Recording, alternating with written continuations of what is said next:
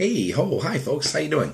Jiggidy NDG here, and um, I know a lot of you know me as the Six Flags guy. I do a lot of other crazy things on the side, and you know, like some concert videos. But right now, I'm actually doing a play review, and I went and saw tonight the Dining Room by the Grove Players in Downers Grove, Illinois, at the Lincoln Center, and um, it's a play by A.R. Gurney, just for you know official references, and reason I went to a play is one of my Fright Fest friends, uh, great friend, is performing in the play. Um, it's running for six nights. I saw opening night tonight, and I thoroughly enjoyed it. It's a great like non-stop ongoing play. Like you get this one dining room as a scene, but it sets the tone for so many different scenes. There's like 18 different scenes, and like 50 something different characters. Every time you see an actor, they're playing somebody else, and the thing that kind of got me at first was there was the one scene and then like some of the other actor characters were starting to like come in and get set up for the next scene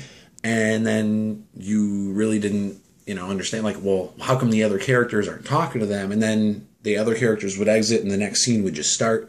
So you would totally understand like oh okay. So they could pretty much just kept it going. Like this one transitions to the next and it was like it was smooth. It was good. It was just like it just totally was awesome I haven't seen a play since the Bounty of Errors, the Royal George Theater in Chicago, like 12, 13 years ago. It's been a long time since I've gone to see a play.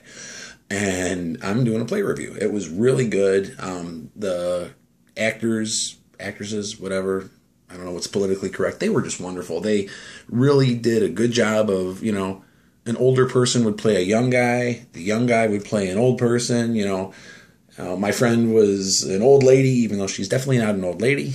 So it was really cool. The jokes, um, kind of was like a lot of like northeastern, um, you know, the white Anglo-Saxon Protestant kind of hoity-toity rich families. You know, they had a lot of maids, a lot of scenes with you know maids and fancy. You know, just it was just really really funny. Uh, some of you may know the play. Um, if not, at least look it up, check it out. Um, not sure that anyone's going to have a video of this particular performance, but it was just really good.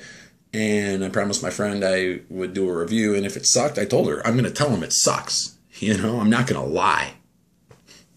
Oh, I probably would, but no, it was really cool. I mean, for me to go to a play, that's just not something I do. You get it's a hard time for me to even go see the musicals at you know Fright Fest or the during the regular season of Great America. Just as there's so much other stuff to do besides that. Not that they're bad, but this was just like this was really cool. I had a really great time, and um, yeah, um, wish I got a chance to go see it again. It was it was worth my money, and yeah, there it is. Jiggidy has a play review.